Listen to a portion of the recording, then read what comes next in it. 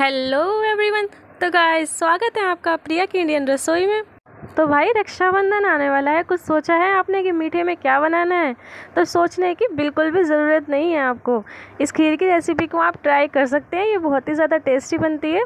अगर आपने इसको एक बार बना लेना, आप इसको हर बार बनाना पसंद करेंगे तो चलते हैं इसको बनाने की तरफ़। ये मैंने ना एक कटोरी थोड़ी सी कम है। चावल ले लिए हैं, छोटी वाली कटोरी ली है मैंने। अब इसको पहले वॉश कर लेंगे अच्छे से दो तीन बार। वॉश करने के बाद ना इसको हम भिगो के छोड़ देंगे दस पंद्रह मिनट के लिए। दूध बॉईल कर लेंगे। हमने ये फुल क्रीम दूध लिया है, एक लीटर। अब इसको पहले बॉईल कर लेंगे दूध को अच्छे से। अब जो हमने चावल लिए थे ना, चावल को जार में डाल लेंगे और इसको पीस लेंगे। अगर आपके पास ना नए चावल हों तो बहुत अच्छा है। अगर आपके पास नहीं है तो आप कोई से भी चावल इसमें यूज़ कर सकते हो। मैंने जो नॉर्मल घर में चावल होते हैं ना, वही लिए थे। अब इसको मैंने पीस लिया है। इसका एकदम पेस्ट बना के तैयार नहीं करना है। हल्का सा दर दरा रखना है हमको। अब दूध में डाल देंगे इसको। दूध हमारा बॉईल हो रहा है। दूध को ना हमको चलाते रहना है, वरना ऐसा होता है ना, दूध हम बॉईल करते हैं, जब नीचे से लग जाता है वो। तो दूध को कंटिन्यू नीचे से चलाते रहें आप, ताकि दूध नीचे से लगे ना। और गैस की फ्लेम कर दें आप एकदम लो क्योंकि लो मीडियम फ्लेम पे आप इसको बनाओगे ना तो ये बहुत ही टेस्टी बनती है। क्योंकि दूध धीरे धीरे बॉईल होगा ना तो उसका फ्लेवर इसमें बहुत ही अच्छा आएगा। तो चावल मैंने इसमें डाल दिए हैं और इसको चलाते रहेंगे थोड़ी देर ऐसे ही। तो दूध को आपको कंटिन्यू चलाते रहना है, वरना इसमें ना लम्स बन जाएँगे। अगर लम्स बन जाएँगे तो आप इस तरह से वो फोड़ सकते हो, वरना ना वो खाने में बिल्कुल भी अच्छे नहीं लगेंगे। तो इसको पकने में पंद्रह से बीस मिनट लगेंगे। तो जब तक मैंने कढ़ाई में दो चम्मच देसी घी ले लिया है, अब इसमें ना हम अपने जो ड्राई फ्रूट्स हैं ना, उनको फ्राई करेंगे। तो गैस की फ्लेम एकदम लो कर दें, वरना आपके ड्राई फ्रूट्स जल जाएँगे इसमें। तो ड्राई फ्रूट्स में मैंने लिए हैं बादाम और सिर्फ़ काजू। इसमें सिर्फ़ यही फ्राई कर रही हूँ मैं अभी, मेरे पास पिस्ता नहीं थे। तो इनको मीडियम फ्लेम पे हम थोड़ा सा गोल्डन कलर कर लेंगे इनका। आप गैस की फ्लेम एकदम लो रखें, वरना नहीं, एकदम से जल जाते हैं। और फिर ये बिल्कुल भी अच्छे नहीं लगेंगे। फ्राई करने से ना इसमें हल्का सा क्रंचपन रहेगा। खीर में और ये बहुत ही टेस्टी लगेंगे उस टाइम पर तो हल्का सा इसको गोल्डन कलर कर लेंगे सेलो फ्राई तो अब इन सभी ड्राई फ्रूट्स पे अच्छा सा कलर आ गया है। तो अब इन सभी को हम निकाल लेंगे। हमको किशमिश फ्राई नहीं करनी है। किशमिश कभी फ्राई नहीं करते हैं, वरना वो जल जाएगी। तो अभी हमने ये मखाने ले लिए हैं। मखाने को भी हल्का सा फ्राई कर लेंगे देसी घी में। इससे भी इसका फ्लेवर ना बहुत ही अच्छा आएगा।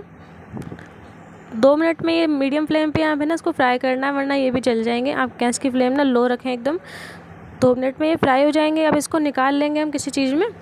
किशमिश है, किशमिश को हम फ्राई नहीं करेंगे। अब ये मैंने चाशनी बनाने के लिए ना चीनी ले ली है एक कटोरी। चीनी आप कम ज़्यादा कर सकते हो। चीनी को हम इसमें पानी कुछ नहीं डालेंगे, सिर्फ़ ऐसे ही इसको मीडियम फ्लेम पे हमको चलाना है। थोड़ी देर में ना ये मेल्ट होना शुरू हो जाएगी, आप देख रहे हो इस टाइप से। थोड़ी देर में मेल्ट होना शुरू हो जाएगी धीरे धीरे करके ना आपको इसको चलाते रहना है। तो कंटिन्यू आपको पलटा चलाते रहना है। ये तीन से चार मिनट में मेल्ट हो जाएगी और इसका कलर भी चेंज हो जाएगा। तो देख सकते हैं आप सभी, ये अच्छे से मेल्ट हो रही है। तीन से चार मिनट के अंदर ये अच्छे से पूरी तरह से मेल्ट हो जाएगी। ज़्यादा टाइम नहीं लगेगा इसको, इसका कलर भी चेंज हो जाएगा। तो ये अच्छे से मेल्ट हो चुकी है। इसका कलर भी चेंज हो गया है, ये काफ़ी थिक हो गई है। हमको इसी टाइप से इसमें चाहिए आगे। इस तरह से हमारी खीर ना बहुत ही टेस्टी बनेगी। अभी मैंने एक गिलास पानी ले लिया है।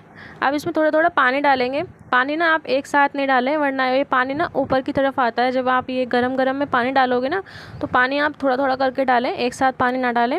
मैंने इसमें थोड़ा थोड़ा करके छोटा वाला जो गिलास होता है, वो एक गिलास पानी डाल दिया इसमें। इससे ना इसका टेस्ट बहुत ही अलग हो जाएगा। इस रेसिपी को आप ट्राई ज़रूर करें। तो हमने ये जो दूध रखा था ना लो फ्लेम पे बॉईल होने के लिए, ये अच्छे से बॉईल हो गया है मेरा। अब इसमें जो चावल थे ना, वो भी अच्छे से पक गए हैं। अगर आपको चेक करने हैं तो आप अपने हाथ से चेक कर सकते हो उसको लेकिन इस टाइम पर चावल मेरे अच्छे से हो चुके हैं। तो मैंने इलायची ले ली है। तो इलायची को ना हम थोड़ा सा फोड़ के यूज़ करेंगे, इसको बीच में से कूट लेंगे और जो उसके दाने होते हैं ना, वो निकाल लेंगे। अगर आपके पास इलायची पाउडर है तो आप वो भी यूज़ कर सकते हो इसमें। तो हमने ये ना अपना जो चाशनी बना के तैयार करी थी, ये ले लेंगे। अब जो हमने खीर बनाई है ना एक तरफ़, वो इसमें डाल देंगे। हमें इसमें ना अलग से चीनी ऐड नहीं करनी है। हमें जो ये कैरमल बना के तैयार करा है ना, इसी में हम अपनी खीर डाल देंगे और इसको लो फ्लेम पर थोड़ा चला देंगे। आप जब इसको चलाओगे ना तो इसका कलर ना धीरे धीरे चेंज होने लग जाएगा इस तरह से। और इसका टेस्ट ना एकदम रबड़ी की जैसा आता है। एक बार ट्राई करोगे ना आप इसको तो हर बार इसको बनाना पसंद करोगे। ये तो डेफ़िनेटली मुझे पता है। तो इसको एक बार ट्राई ज़रूर करें आप। ये बिल्कुल रबड़ी के जैसा लगता है। थोड़ी देर में इसका कलर बिल्कुल चेंज हो जाएगा। तो मैंने इसमें आप मखाने ऐड कर दिए मखानों को ना आप इसमें चावल के साथ ग्राइंड भी करके डाल सकते हैं। अगर आपको ऐसे पसंद नहीं है तो लेकिन ये ऐसे ही बहुत अच्छे लगते हैं। तो अब आके ना मैं इसमें ड्राई फ्रूट्स डाल दूँगी। ड्राई फ्रूट्स से ना इसका बहुत ही अलग टेस्ट हो जाएगा, बहुत ही अच्छा। अगर आपके पास नहीं है तो आप उसको स्किप भी कर सकते हैं, कोई बात नहीं, वो ऐसे भी बहुत ही टेस्टी बन के तैयार होगी। अगर आपको ही मेरी वीडियो अच्छी लगी तो मेरी वीडियो को लाइक करना ना भूलें। ऐसी अच्छी अच्छी वीडियोज़ के लिए मेरा चैनल सब्सक्राइब कर लें। Thank you for watching.